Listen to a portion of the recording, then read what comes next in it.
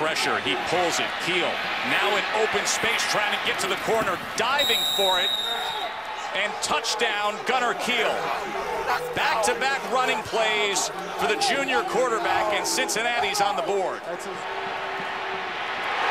is picked off, and Memphis is going to score to open things up with Arthur Maulet. Jet motion play action, vertical release, and complete for a big gainer and more, Anthony Miller. Touchdown, Tigers. With Hayden Moore, the redshirt freshman quarterback. He's going to take a shot downfield, and he's able to connect. Chris Moore. Really, really good here. Jet motion, the handoff, touchdown, Memphis. Play action. Lynch. So fluid downfield, and that is complete to Proctor. And they are going to mark him out where it'll be first and goal, Memphis. Cooper. They run power, and he brings power.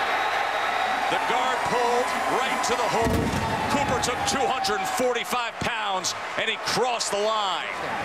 Here's Moore, downfield. And he connects with Chris Moore again. Third down and six. Here comes the pressure. They pick it up, and it is an incredible interception. Regis Ball just pinned it against his helmet. Amazing effort from Ball. Nice looking play that time as Alan Cross will give Memphis the lead again. Moore's able to just drop it in. Look at the time on first down. Oh my, Max Morrison.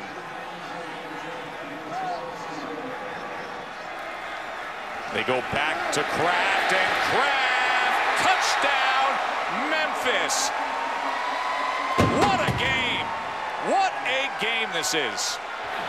Quick huddle. Get the snap out. Rolling out. Can he do it on his own? Yes. 46 to 39. Green flanking more in the backfield. First down for Cincinnati. They only rush four. He has time to the end zone, and again, Max Morrison. And Cincinnati possession. Touchdown, Sam Craft. Redemption for the junior running back. Here we go, folks. How will it end?